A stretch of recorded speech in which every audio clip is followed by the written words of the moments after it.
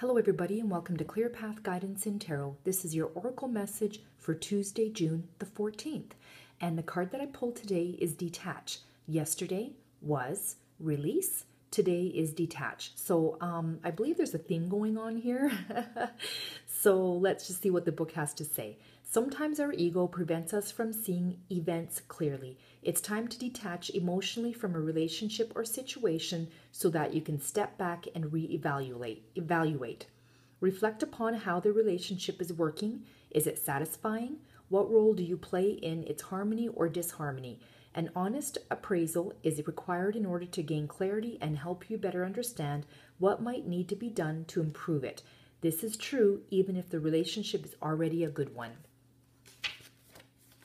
It's important to accept that your previous actions, decisions, and beliefs have led you to your current situation, whether it's pleasant or difficult. We do steer the course of our lives, although often without conscious intent. By assessing your situation and accepting responsibility for it, you're able to free yourself from the need to blame another person or destiny. There's no guilt associated with this card, only clarity and empowerment.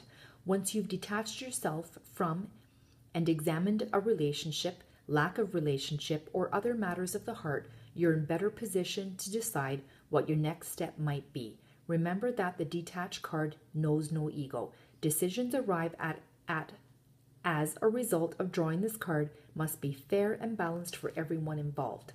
All right, so the affirmation is I accept the role I play in creating my relationships and my life. All right, I hope everyone has a great Tuesday.